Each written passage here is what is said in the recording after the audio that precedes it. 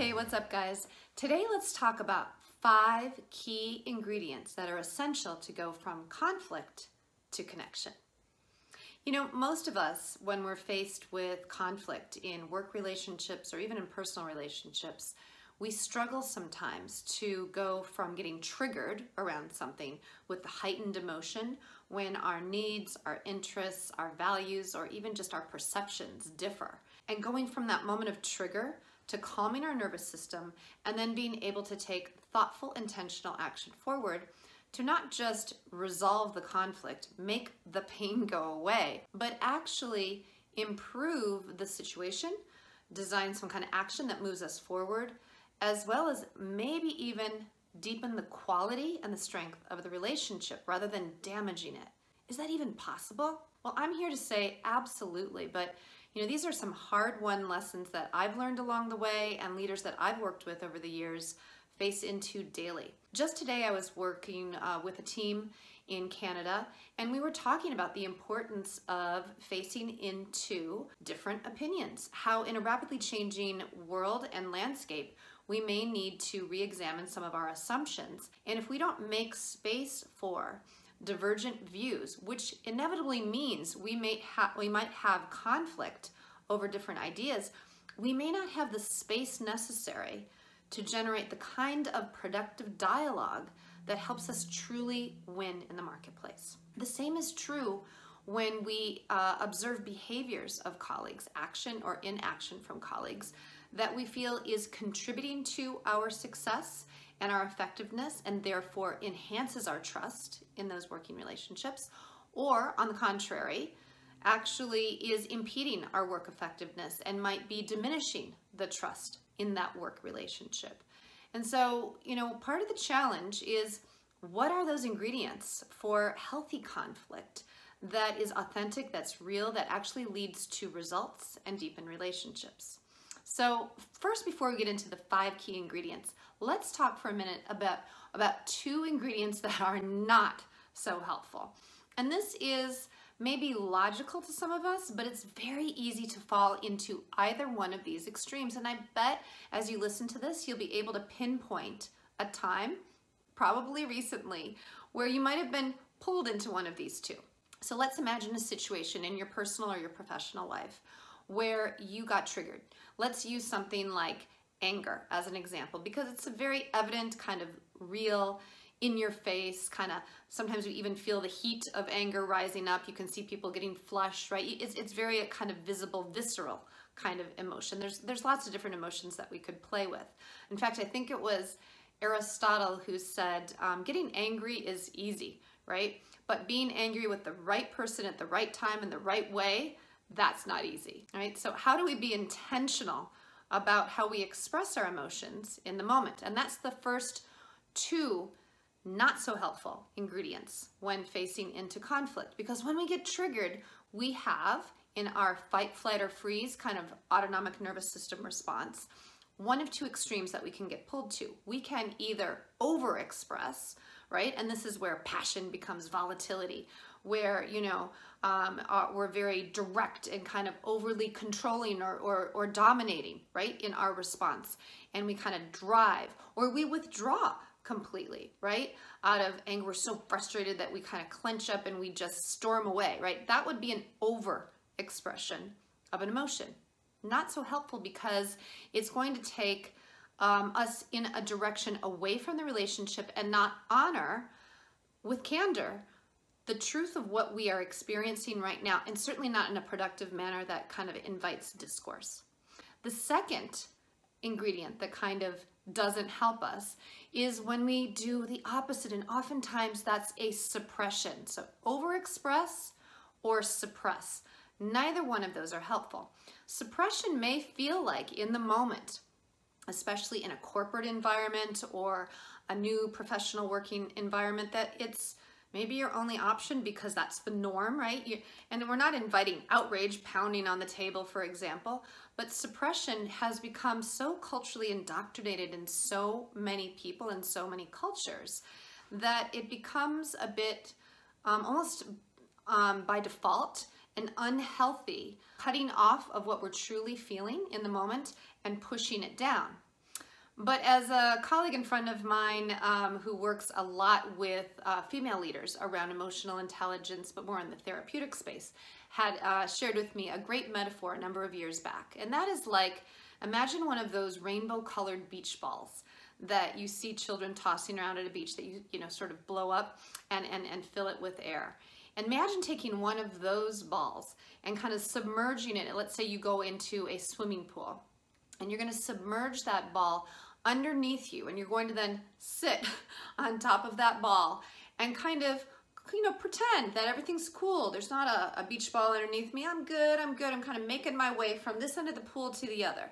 Number one it's going to be really damn obvious what you're doing because you're trying to like i got it going on here but you know what? No you got a beach ball underneath you. Did you, did you know you have a beach ball underneath you?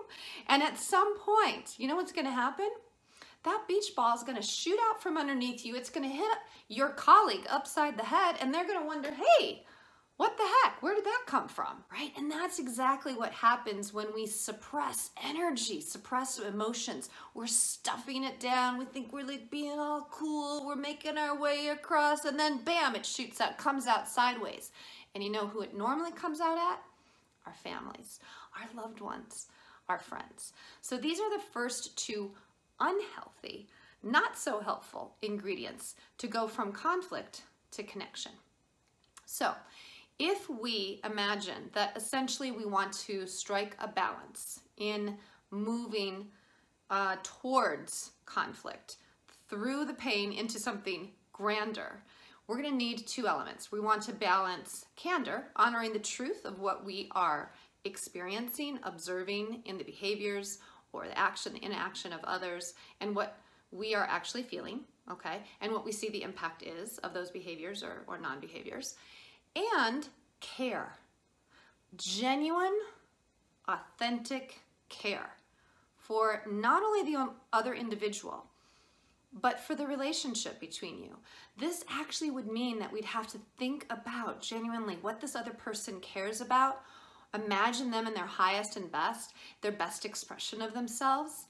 Want the same for them that you want for yourself in terms of your own mm, evolution, and want the best for the quality of your relationship.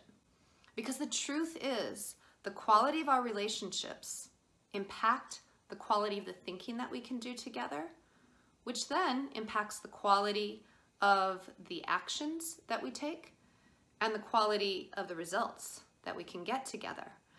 Now, friction and conflict doesn't have to be something that we overexpress or suppress on the other side. It actually can be the friction between two different points of view, two different perceptions into the marketplace, two different uh, beliefs around what's possible that actually generates the energy to propel you both forward to higher heights of new possibilities, but only if we can create a container that allows those different divergent views to be heard and honored. So are you ready? Here's the five ingredients to go from conflict to connection and ultimately greater impact. Number one, it's an awareness. It's a deep awareness of what your physiology, your feelings, and your thoughts are telling you when you first get triggered around something. So, so let's say number one, something happens in the workplace and you realize I'm really feeling pissed off right now. I'm noticing it because my jaw is clenching. I actually have an impulse to kind of smack the individual in front of me. I'm not going to do it, but this is my impulse. I wish we could just kind of, you know, sort of end this conversation right now. And my thinking is I want to just get the heck out of here, right? So that would be an awareness of physiology, jaw, feeling, I'm kind of angry, kind of frustrated, and my impulse, right, is is just to kind of get out of here, get this irritant out of the way or leave, right? So whatever your your awareness is. But bring it to your awareness. Don't let it just run like a default computer system that's driving you. Because then what happens is that physiology leads into the emotion. You're going to be driven to take action from that combination of physiology, thought, feelings, and thoughts. So awareness, number one. Number two, really design your mood when you are going to have the conversation with the other individual that you have the conflicting perception, perspective, experience. What do I mean by that? Our moods, our energy is something that we have control over. We have power over it. Like anything, right? We're not going to have a good outcome from a conversation if we go in all fired up. Okay, that's obvious, but designing a time when your grounding can be so anchored in, when your energy can be so charge neutral, that kind of like an Aikido individual, the, the, the, the kind of the attack can come at you and you can be like a bamboo reed that bounces back. That's the kind of energy that I'm talking about. So what is it gonna take for you to intentionally design that kind of energy? So that's number two. Number three, get very, very intentional about what the specific action is that you want resulting out of the conversation.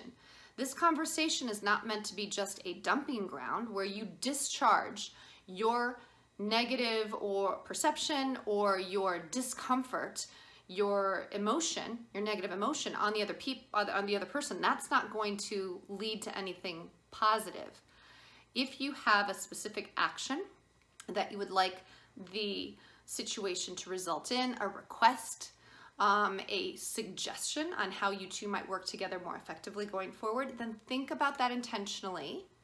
And then think about what your part in the, that action might be. So if you're making a request, what else that is it that you can offer to actually be in tandem with that, that, that you both can move forward together.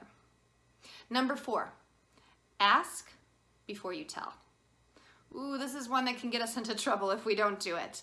When we have, first of all, done these first three steps, and then we actually have a chance to catch up with somebody. We can knock on their door, or in these days, right, um, text them and maybe set up a quick Zoom call and say, hey, do you have just a few minutes? Do I, do I have the permission to maybe share with you um, my perception of what I observed last meeting? I'd, I'd like to share my perception what I am noticing, my assessment of the situation and what the impact was, because I genuinely think um, there's some great things that we're doing and some things that we could tighten and make even better to strengthen our outcome. Do you have a few minutes? Right? You ask before you tell. Is this a good time? Is this a good time for me to share my assessment of what's going on? So ask before you tell. And then number five, super simple, but really hard when you're triggered or if there's a pattern of um, getting into conflict with an individual. And that is to listen more deeply than you ever have before with this person. And listen for not just what is being stated, but what is the underlying kind of needs, interests, values, what are their purposes? What is it that they want? So, so much in life as a whole and how can you connect what your request is to what those deeper purposes are for them. With those five ingredients for healthy conflict into deeper connection, we can not only improve the quality of our relationships, deepen trust, but we can also achieve more than we ever thought was possible. And we recover responsibility for our own contribution to some of the challenges that we face. I hope that these essential ingredients are helpful to you. Let me know how it goes as you put these into practice.